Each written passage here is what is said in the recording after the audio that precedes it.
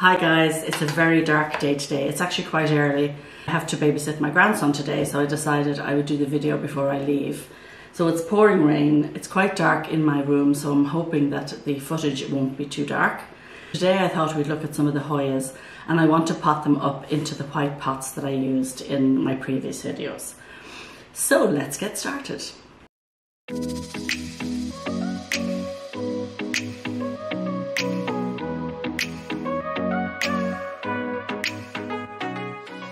Hi, my name is Grania and this is my channel Jungle Flowers Canada. Thank you so much for joining me. So I have quite a few Hoyas in these cups here and I want to pot them into these ones that I have been transferring most of my Hoya into. Now I don't actually have enough for all of them so we'll just pick a couple today and then I'll know how many more I need to order. So I love these little cups here. So I actually have two of these and they are the Archibaldiana albo marginata. And I love this plant. And I love the way an odd leaf comes out kind of curled like this. I don't know if any of you have experienced that shape on your plant. But this is quite a pretty plant and its flower is beautiful. It hasn't flowered for me, but I am excited about it. Now what you'll notice about this leaf, so it looks, you know, not a delicate leaf, but it's actually way thicker than you would imagine. So I have two of them and I just wanted to double check that they were in fact the same plant, which brought me to just checking out the leaf. I was really impressed by the sturdiness of the leaf. So I am excited that I have two of them. I didn't even know I had two of them. So I can pop them up into this pot. Now, could I go a little bit bigger? Yes, I could. But because I keep these in my cabinets, guys, I don't want them to get too big. I love them in there and my cabinets basically are Hoya cabinets. So I'm, although I do have some large Hoya and I do love my large Hoya, I reserve the large ones for hanging around my house and I try and keep these ones small. Um, and they don't seem to object. So eventually they're going to get too big, of course, and at that stage I will propagate. But basically the plan is that for my cabinets I will keep the Hoya relatively small. So I just put the wicking cord in there and then I'm going to get some fresh pon. I have the ingredients for the pon. If you have watched my pon video, you'll know I use a product called Qualisorb. Sorry, I just spilt my tea. Um, which was available in Canadian Tire, but now you can't get it in Canadian Tire. But lo and behold, you can get it in Napa. So we have Napa here in Canada. They don't carry the same range of products that they do in the States, but they do have the Qualisorb and it was on sale, so I actually got a big bag of it for $17.99. I will change that in the description of my pon video because I know people have written to me to say they're not able to get the Qualisorb anymore. So if you're in the States, you should be able to get the Qualisorb from Napa. I replaced the pumice with Qualisorb. It's so much cheaper and my plants have loved it. Um, okay, let's dump the old pon out of my way. So her roots are not huge, as you can see there. Um, I may have actually rotted some of them because I forgot to water it. And yes, some of them are kind of stringy, but the majority of them are okay. We'll just pop that there for the moment. And plant number two, you can see the roots have come out the bottom. Again, this doesn't have a huge root base, so I'm hoping it will be happier in its new pot. It's going through the mesh. Okay, I had to, unfortunately I ripped some of the roots there because they were caught in the mesh. So let's put this into new pon. The pon does stink. That's the thing after a while, especially in these pots, they do start to stink after a while. I'm just going to use this.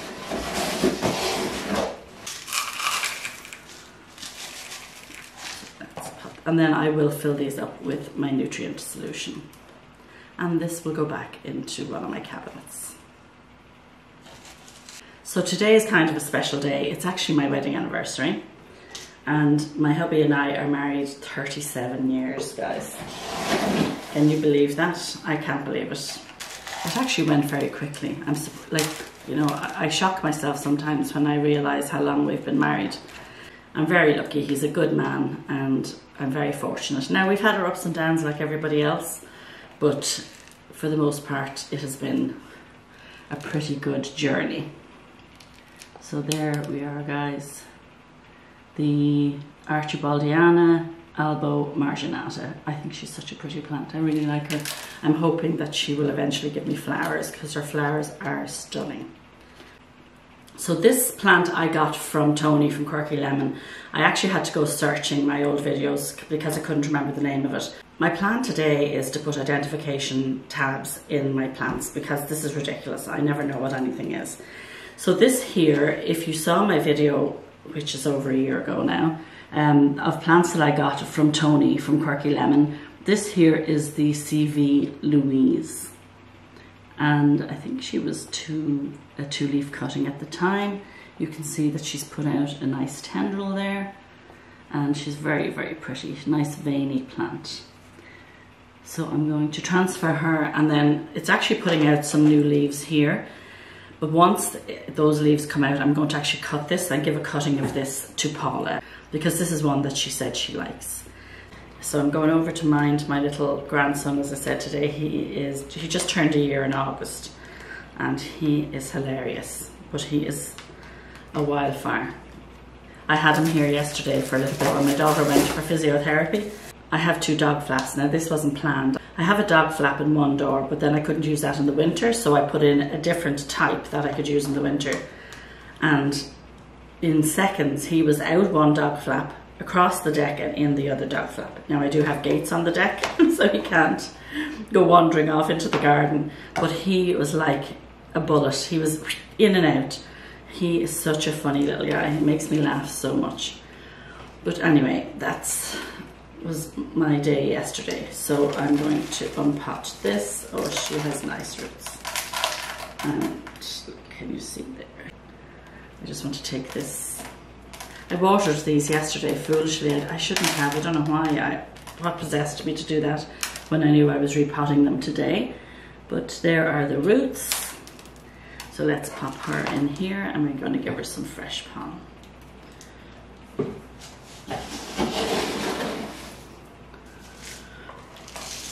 Should have brought in my Osmocote, shouldn't I, to put some Osmocote in these. I like to put Osmocote in because then if I don't use my nutrient solution, I don't feel so bad. I feel like, well, at least they're getting something from the slow release fertilizer. So I think I'll just pop a little bit on the top because sometimes I'm lazy. I don't have any nutrient solution made and I just get myself a can of water and top them up. So there we have the Hoya CV Louise. Isn't she beautiful? Here we have the Hoya Coriacea. So I did show this to you before, but it had uh, some growth on it. So I took two cuttings from it and I have the two cuttings rooting. But I am going to move this now into one of my white pots. Uh, these were my little DIY self-watering pots and they have worked tremendously. But once they get established, I really want to put them into these pots here. My self-watering pots are very inexpensive. I got the net pots. I think I got 50 of them for like $15, probably not even $15. And then these are just Dollarama cups that I set them in. So they certainly have served their purpose. But just for aesthetics in my cabinet now, I'm, I'm looking to move to these. Okay, so let's see what kind, oh wow, look at her roots. They're lovely. I don't have this cutting that long. So there we are. Nice big roots on her. And when those two cuttings have rooted, I'll put them into the pot with this. So we've nothing planned really for our anniversary. I'll probably just cook a nice meal. I don't know about you guys, but since COVID, I just have lost the interest in eating out. We used to eat out a lot more than we do now. Now I, I we kind of got out of the habit of going and eh, you know, we do go out once in a while, but certainly not once a week, excuse me. I just said to my husband, know, I'd rather go and buy a nice steak and cook a nice steak on the barbecue, make a nice salad. So I think that's probably what we will do tonight. We're getting old, right? So there we have the Hoya Coriacea. Beautiful plant. For the life of me, cannot remember what this is. It might come to me. I will ask Paula and see if she knows what it is. It's very pretty though, isn't it? I'm trying to think. No idea. This is the problem with me. I have beautiful Hoya that I don't know the names of. It doesn't really bother me that I don't know the names of them. I just love to enjoy them. I look at them and go, God, they're gorgeous. But um, this one escapes me completely. Okay, oh wow, nice roots on this one as well. Let's take off this. This mesh unfortunately does damage some of the roots. If you follow me on Instagram, um, I recently put up a picture of a light that I thrifted.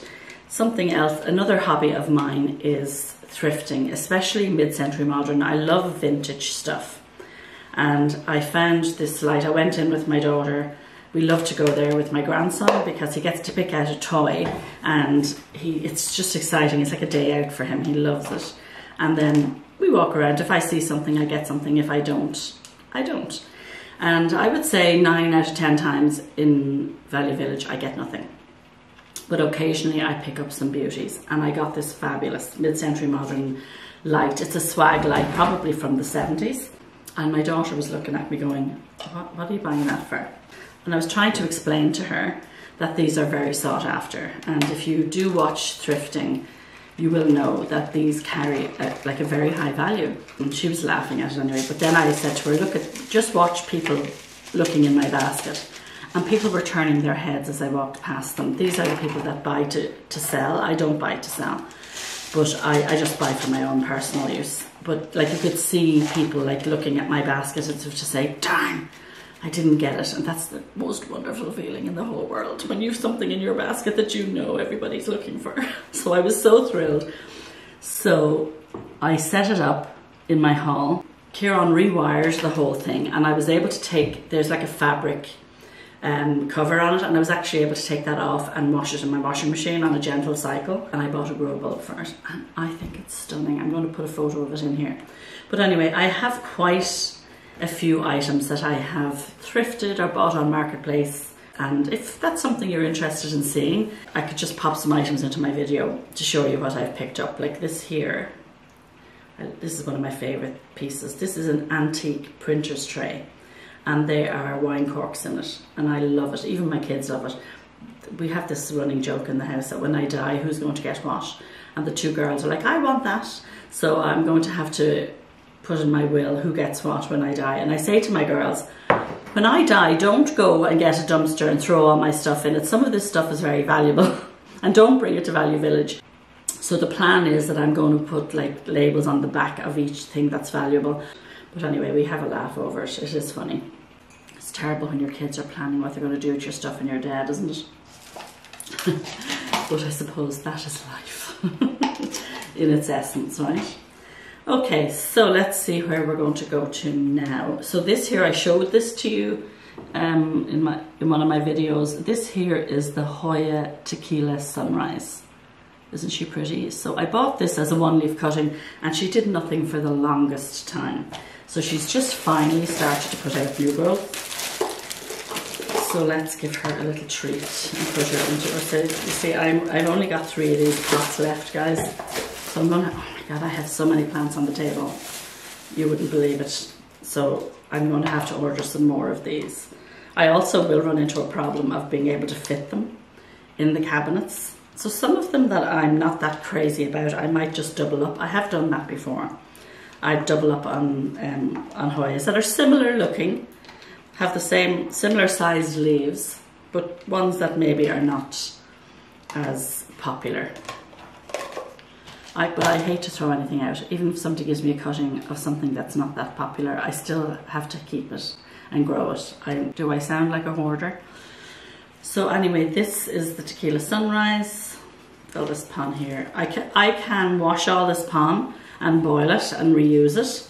It depends on how lazy I am, whether I do that or not, but that is definitely an option with Pon, just so you know. So here is the root ball on the Tequila Sunrise. We're going to pop this in here. I love these little pots, aren't they the cutest? I love the aesthetic they give my cabinets. It's no secret that I love Kevin from Hakuna La Planta. And I, when I look at his Hoyas and how big they are, I think, how does that man do it? His plants are enormous. And I don't think I could ever grow my plants that big. I'm totally in awe of his plant skills. But like I say, these particular ones, I'm not looking to get that. This is These are ones I just want to keep in my cabinet, but that doesn't mean that I can't appreciate his. They are absolutely jaw-dropping is the only word. Do you think I would have just organised all of these before I started, wouldn't you? And put in the wicks, etc. So let's get the last two ready. I have to decide what I'm going to put in here. I do have a Hoya undulata which has been on the struggle bus. Who hasn't had a Hoya undulata that has been on the struggle bus? I had multiple cuttings of this plant and I've lost them. I'm down to my last cutting and you're not going to believe it. She got mealybugs. I couldn't believe it. So uh, she had three leaves on her. Now she's down to one leaf. I think I have gotten rid of the mealybugs, but mealybugs are that one pest.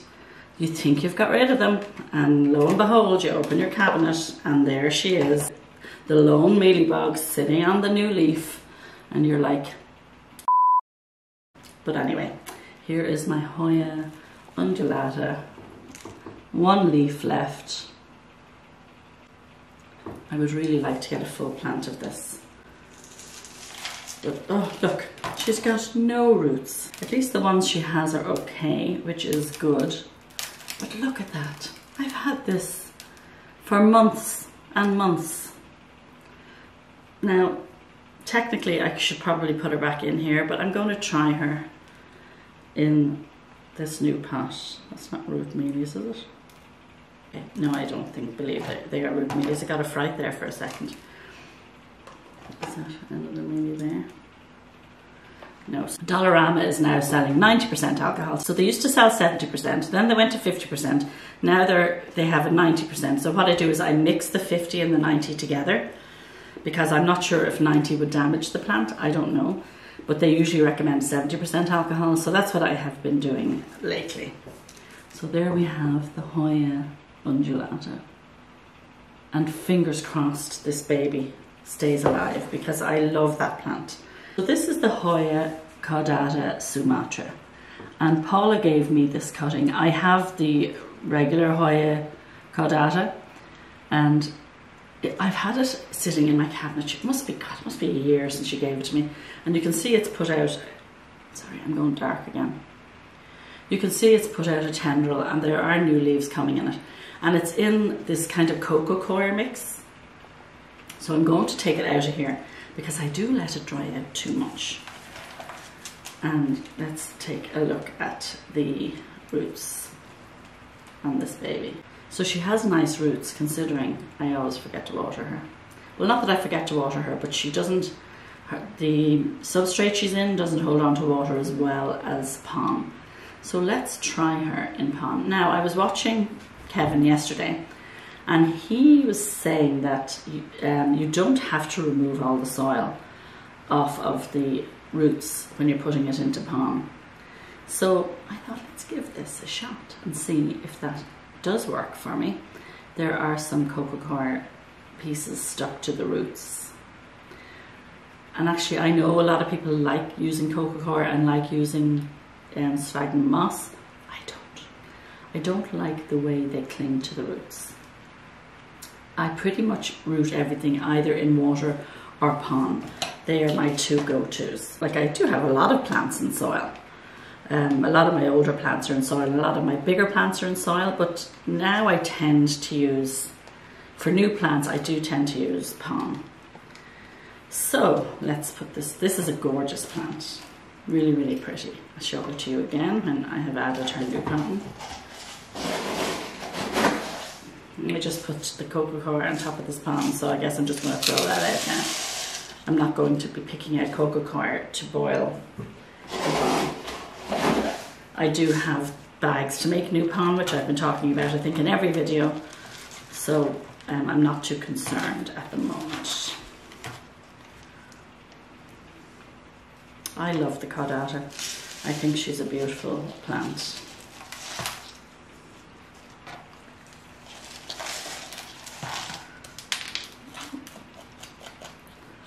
Okay. And if I didn't show you before, these little pots have a water indicator there, which I love. It makes it so much easier. So there we go, the Hoya Caudata Sumatra. So I'm out of white pots, but don't worry, I do have a, um, another pot here. So I showed you this Adansonii in one of my videos. It's the variegated one, isn't she beautiful?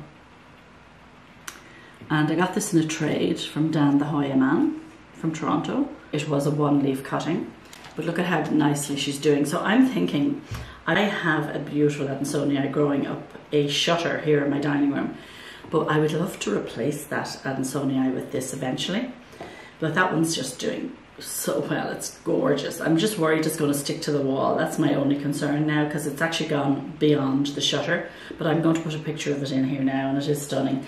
But I thought, how amazing would that be if it was a variegated one? So these are self-watering pots. They are not the most ideal because you can't flush the pon.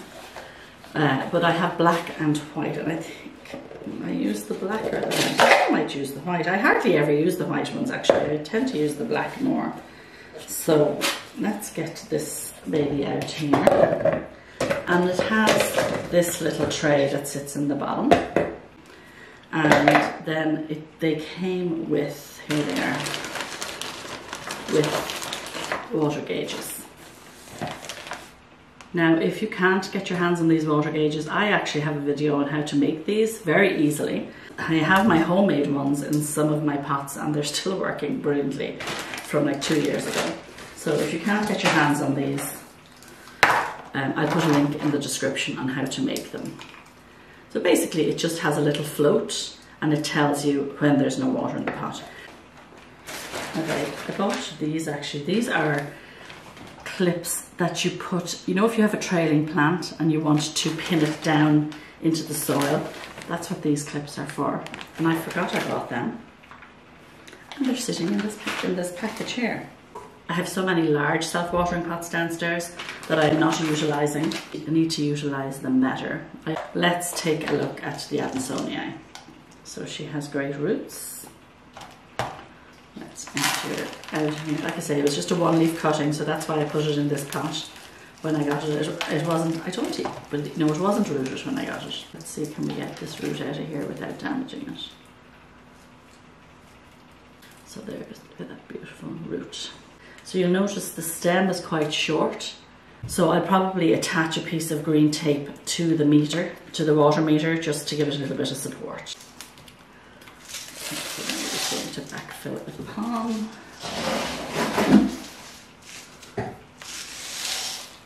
The one that I have here that I'm going to put a picture in of is also in pon and I think it's actually in the same size pot with one of those homemade self-watering meters. So if I can get a picture of that I'll show you. And it is thriving. It has been, I haven't even repotted it. It's been there probably two years and it's absolutely thriving and it's loving pon. Has anyone noticed that fungus gnats are coming back?